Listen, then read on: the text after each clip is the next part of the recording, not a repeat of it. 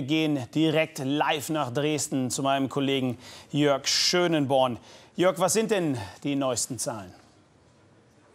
Ich spanne euch jetzt ein bisschen auf die Folter in Bonn, denn äh, unsere Hochrechner sind gerade dabei, die Zahlen zu aktualisieren. Vor wenigen Sekunden ist der 60. von 60 Wahlkreisen ausgezählt. Das ist im technischen Sinne immer noch eine Hochrechnung, aber eben auf Basis aller Ergebnisse.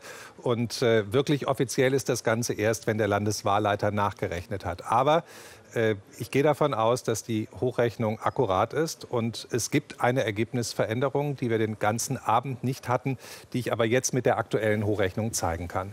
Die CDU kommt danach auf 39,4 Prozent, verliert knapp einen Punkt, historisch schlechtestes Ergebnis. Die Linke 18,9, minus zwei Punkte ungefähr. Die SPD landet bei 12,4, zwei Punkte Zugewinn. Die FDP ist nicht mehr im Landtag vertreten, 3,8 Prozent. Die Grünen haben 5,7, damit zwar Verluste, aber im Landtag vertreten. Die NPD haben wir rechnerisch jetzt bei 4,9. 4,9, wie viel, liebe Kollegen? 4,98 Prozent, das ist der rechnerische Wert. Das hieße äh, im technischen Sinne eine 4,9. Damit wäre die NPD am Ende dieses Wahlabends doch nicht im Landtag vertreten. Ich gehe relativ sicher davon aus, aber wie gesagt, der Landeswahlleiter muss noch nachrechnen. Und die AfD ist dann am Ende doch nicht zweistellig, sondern hat 9,7 Prozent. Jetzt äh, schaue ich mal gerade, ob wir auch die Sitzverteilung entsprechend aktualisiert haben. Wir gehen von 126 Sitzen aus, also einige Überhang- und Ausgleichsmandate. Und natürlich gäbe es für Union und SPD die Möglichkeit, zusammen zu regieren. Aber auch für CDU und Grüne gäbe es 67 Mandate.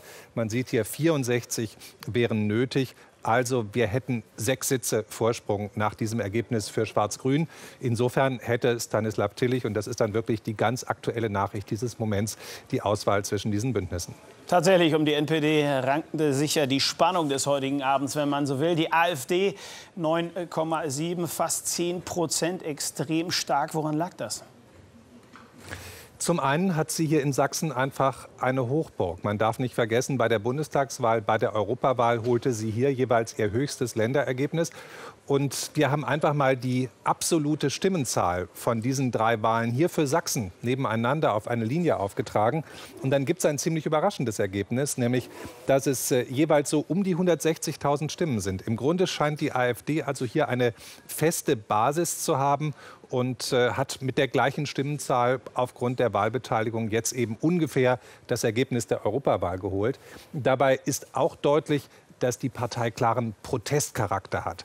Wir fragen am Wahltag die Wählerinnen und Wähler immer, haben sie ihre Partei aus Überzeugung gewählt oder aus Enttäuschung über die anderen Parteien? Und normalerweise sagt die Mehrheit klar, ich bin überzeugt von meiner Partei, im Durchschnitt 62 Prozent. Jetzt der Wert für die AfD-Wähler, der zeigt 54 Prozent, eine Mehrheit sagt aus Enttäuschung. Das hat sie als Ähnlichkeit mit der NPD. Und das hier, wenn hier eine Mehrheit, wenn hier ein Wert über 50 Prozent steht, ist das klares Indiz für Protestpartei.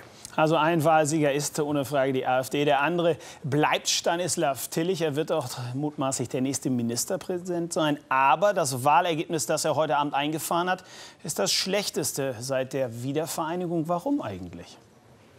Ja, ist kein süßer Sieg. Das ist schon erstaunlich. Ein Ministerpräsident mit guten Noten, eine Regierung, deren Arbeit gut beurteilt wird, eine exzellente wirtschaftliche Lage. Ich glaube, ein Punkt ist, dass wir so sehr von internationalen Konflikten geprägt sind, dass es einfach innenpolitisch ganz schwer war, zu mobilisieren, Menschen für irgendein Thema zu interessieren. Wenn man sich die Wählerwanderung der CDU anschaut, das muss man sich immer vorstellen, niedrige Wahlbeteiligung, dann wird aber auch deutlich, dass die CDU ein besonderes Problem mit der AfD hat. Denn der stärkste Wählerabstrom, 35.000, das sind rund zwei Prozentpunkte, geht zur AfD. Und wenn man sich ältere Wählerwanderungen anguckt, 2004, 2009, dann sieht man, die CDU hat zur konservativen FDP hin, aber auch zur NPD und jetzt eben zur AfD auch früher schon Wähler verloren. Die Magnetkraft dieser Partei hier in Sachsen ist also offenbar überschaubar. Holger Zastrow hat einen Solo-Wahlkampf, wenn ich es mal so bezeichnen äh, kann, gemacht in Sachsen. Er wollte es allein schaffen, die 5-Prozent-Hürde. Daran ist er jetzt sehr deutlich gescheitert. Da könnte man befürchten, das sei das Todesurteil der Liberalen, oder? Ja, äh, es ist ja auch die letzte Regierungsbeteiligung. Aber mit toten Glöcklein muss man vorsichtig sein.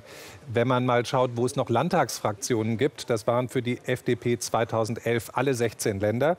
Das ist im Moment genau halbiert. Einerseits. Andererseits, es ist Nordrhein-Westfalen, es ist Baden-Württemberg, Niedersachsen, Hessen dabei, wo es FDP-Landtagsfraktionen zum Teil sehr starke gibt. Und ich glaube, das Schicksal der FDP wird sich entscheiden hier in Baden-Württemberg und Nordrhein-Westfalen. Da wird 2016, 2017 gewählt. Und bis dahin hat die Partei durchaus noch mal, glaube ich, eine Chance. Ein Satz muss man leider noch über die Wahlbeteiligung verlieren, unter 50 Prozent. Das ist enttäuschend. Woran lag das? Ich glaube, dass es durchaus mit der internationalen Agenda zu tun hat, die ich eben schon angesprochen habe. Die Nachrichten, auch die Sendungen hier bei Phoenix, sind ja seit Monaten voll mit Ukraine-Gaza-Konflikt und dem Nordirak. Und in einer solchen Situation über landespolitische Themen zu, streichen, äh, zu streiten, also braucht man mehr Lehrer oder Kinderbetreuer, ähm, das ist dann vielleicht doch etwas, was nicht wirklich mobilisiert. Nimmt man hinzu, dass es eben ein Land ist, in dem die Wahlbeteiligung nie sehr hoch war, dann kommt man zu einem historisch niedrigen Ergebnis. Ich danke Jörg Schönborn im Wahlstudio in Dresden für die wirklich brandaktuellen Zahlen inklusive einer absoluten Neuheit. Herzlichen Dank, Jörg, nach Dresden. Und